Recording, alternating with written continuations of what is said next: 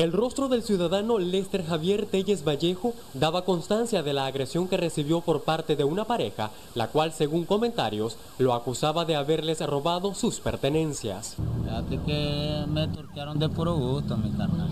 Aquí, viernes, sábado y domingo diario es una ladronada la que se mantiene.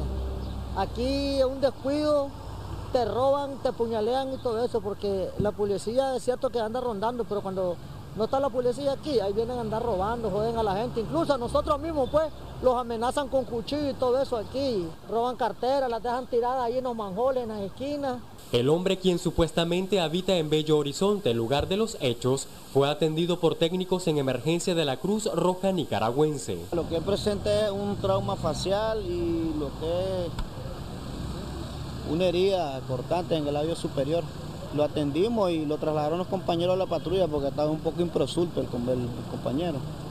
Una patrulla de la Policía Nacional se presentó en el sitio, no obstante la denuncia no fue recepcionada, dada la ausencia de los perjudicados. Con imágenes de Ángel Ruiz, informó para Acción 10, Yelsin Espinosa Reyes.